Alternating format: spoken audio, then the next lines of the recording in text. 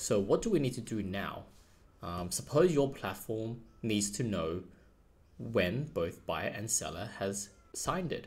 So what we need to do here is basically a webhook. A webhook allows DocuSeal to tell us and send us information about statuses and progress. So if you look at the documentation here um, on webhooks, you can see an example of the payload, i.e. what is being sent. So there different type, there's four different type of webhooks you can configure, um, but in essence, we want to listen for form completed. So how can you test webhook before actually building the actual code to receive the webhook payload? There's basically a free website called webhook.site that allows you to have a unique URL that listens for the webhook. So let's copy this unique URL and paste it in our test environment, DocuSeal webhook. I would, we would check form completed because this basically tells us who has completed the form. So there'll be two payloads uh, for the buyer and seller individually once they've completed the form. We can test the webhook. So we can test the webhook by actually signing the form. You know how I've already, in the previous video, I signed up the buyer's view. So if I go to buyer, you can see I've signed it, but let's just go back to the seller and let's also sign it. So if I send, sign the seller, we can see here, the seller signature has been signed. And then there is actually a webhook here that just created. This is form completed by the seller. And if you go to the very bottom, if you look at the information about the submission, the submission status has been completed. If only the buyer signs, um, it will be pending. This, there is no webhook for the buyer because we create the webhook after the signing of the buyer. So if you were a, if you actually use this and use this process and set up the webhook, you actually receive two payload, one for the buyer's form completed and one for the seller form completed. But the difference here is really the submission.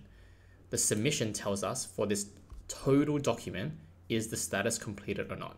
Completed meaning both buyer and seller has signed the document.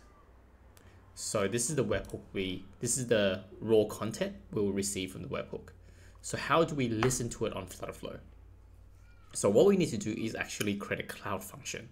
It's going to be an on request cloud function that allows DocuSeal to send the payload to a specific cloud function URL.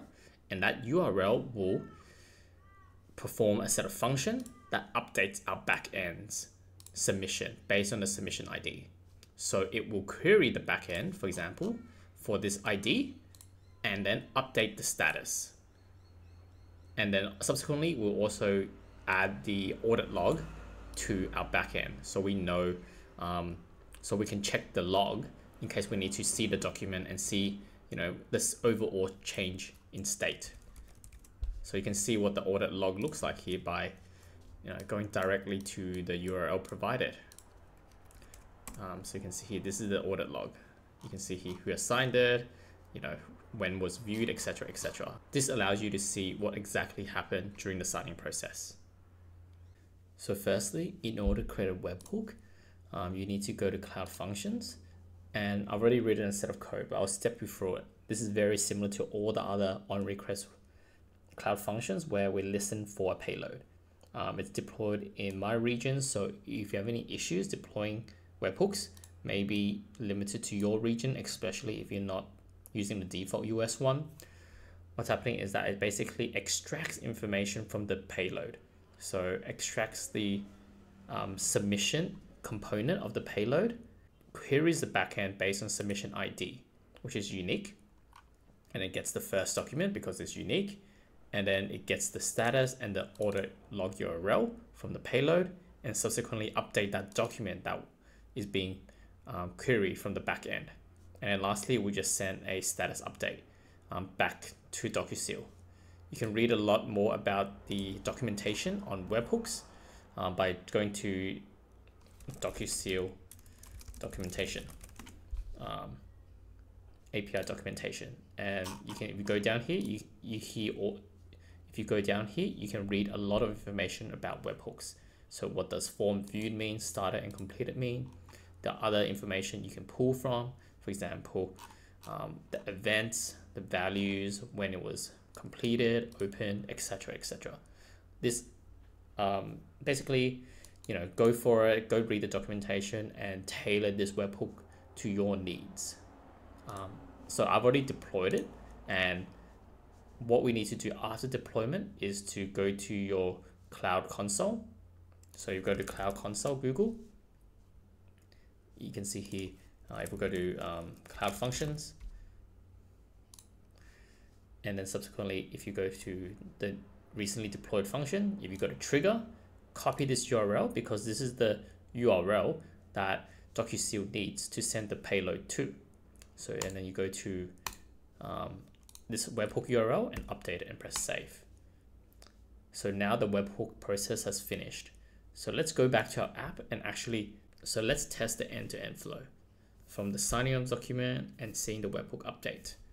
So let's um, enter the seller's name. Let's call it seller and let's call it, and this is the email address and buyer. And this is the email address for the buyer.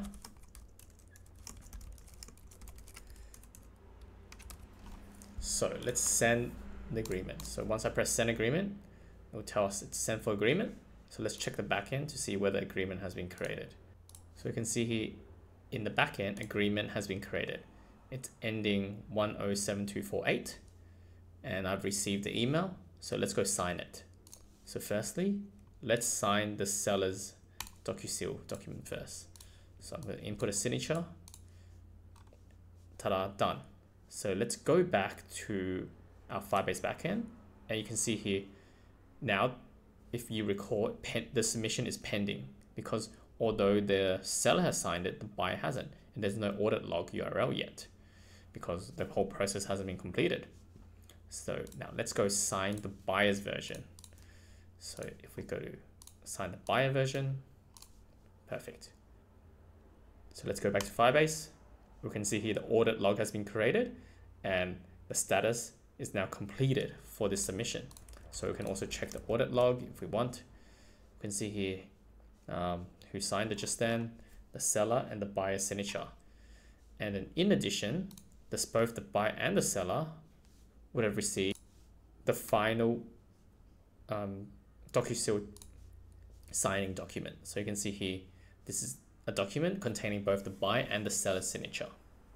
So this is how you're able to integrate Flutterflow with a third-party electronic signing platform, such as DocuSign, DocuSeal, PandaDoc, etc. This is especially powerful because this will allow user to be able to sign legally binding documents and actually retain a copy of it. I hope you enjoyed this tutorial. Remember to comment, like, subscribe for more content on Flutterflow.